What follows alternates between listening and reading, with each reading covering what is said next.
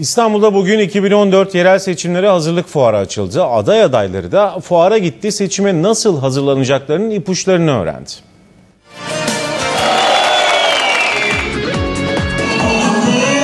Doneleri biz veriyoruz, siz hazırlıyorsunuz. diyoruz. Bayraklar, tişörtler, ses ve ışık sistemleri. Seçim kampanyası için aranan her şey 2014 yerel seçimlere hazırlık fuarında görücüye çıktı. Adaylarımıza kırmızı polar şapka ve e, atkı yapıyoruz. Çünkü bu seçimler kışa geldiği için normal şapkalar kullanılmayacak. Türkiye önümüzdeki yıl 30 Mart'ta sandığa gidecek. Belediye başkanlarını seçecek. Aslında hayatın kendisi başlı başına bir seçim. İlk öğretimden sonra okul seçiyoruz. Okul bitiyor bu sefer iş seçiyoruz. Belli bir yaşa geldikten sonra da huyu huyumuza, suyu suyumuza eş seçiyoruz. Ve bugün bu fuara gelen belediye başkan aday adayları seçmenin değil seçilmenin formülünü arıyor.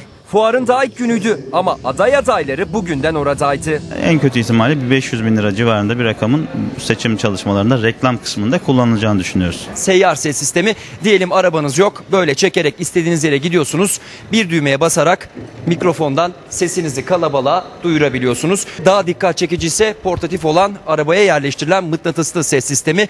4 hoparlörden oluşuyor. 360 derece sesi yayabiliyor ve bir kabloyu aküye taktıktan sonra buradaki cihaza basarak sesinizi 2000 kişiye duyurabiliyorsunuz. başkanlarımızın işlerini kolaylaştırmak için e, çok hızlı monte edilebilen hatta montaja bile ihtiyacı olmayan ses sistemleri üretiyoruz. Standları gezdiğiniz zaman her partinin bayrağını, filamasını, magnetlerini, kalemlerini görebiliyorsunuz. Bazı standlar ise özel tişörtler yaptırmışlar. İşte AK Parti tişörtü, Milliyetçi Hareket Partisi'nin tişörtü, Cumhuriyet Halk Partisi'nin tişörtü. Farklı seçenekleri de var. Fiyatları ise 7 liradan başlıyor, 10 liraya kadar çıkıyor. oyuncağı olmayan bir çocuk rüzgar günü hediye olarak aldığında çok mutlu olacaktır. Fuar 2 gün daha sürecek.